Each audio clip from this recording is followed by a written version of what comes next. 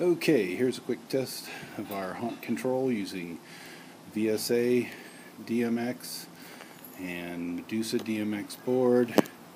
Um, this laptop's running Windows 7 Home Premium VSA Hobbyist. Over here we have the heart of the haunt control system which uh, is an Enttec open USB to DMX uh, interface. This over here is just a USB hub the USB cable comes from the computer here into the hub. This allows for future expansion.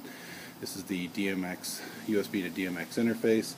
The DMS signal DMX signal comes from here and goes down into this unit. This is a, a unit contains a Medusa DMX um, from Own My Gadgets, um, which uh, this bottom row down here of RCA jacks are eight relay outputs. Uh, switched at 12 volts. Uh, you see the two cables here run and are connected here and this is the back of a Costosphere style pneumatic groundbreaker zombie which uh, some of you may have seen before.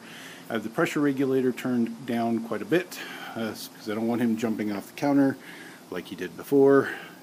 So let's go ahead and see if we can get this run.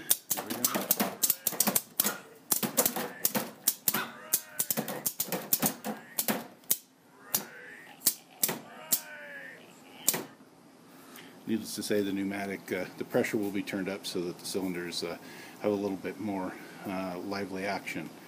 Uh, thanks a lot. Stay scary. Haunters for life.